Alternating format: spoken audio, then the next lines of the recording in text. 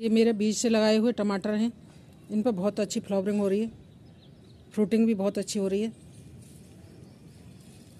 इस तरह से ये पूरा पौधा टमाटर से लदा हुआ है। इतने बड़े बड़े इस पर टमाटर आ रहे हैं और फूल भी बहुत आ रहे हैं।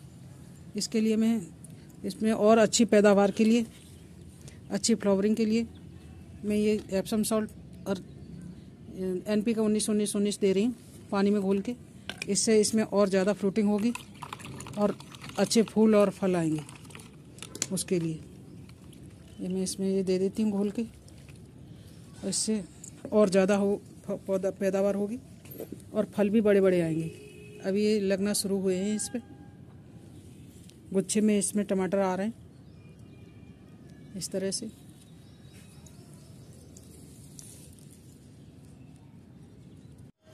मेरे टमाटर के पौधों पर टमाटर पक चुके हैं।